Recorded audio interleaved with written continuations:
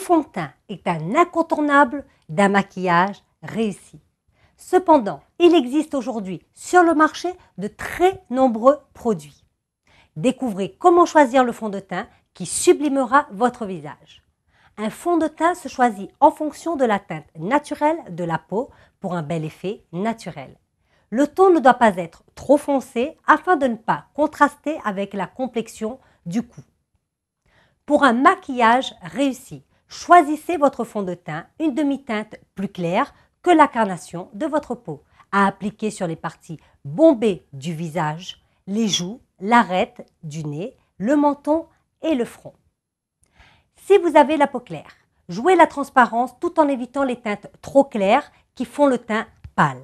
Si vous avez le teint mat, préférez un voile poudré qui se fond avec votre peau. Testez toujours votre fond de teint avant de l'acheter.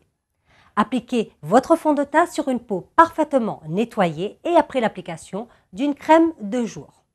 Terminez par l'application d'une poudre qui fixera le fond de teint, facilitera l'application des autres fards et offrira un toucher soyeux, velouté et mat. Au plaisir de vous retrouver pour de prochaines astuces.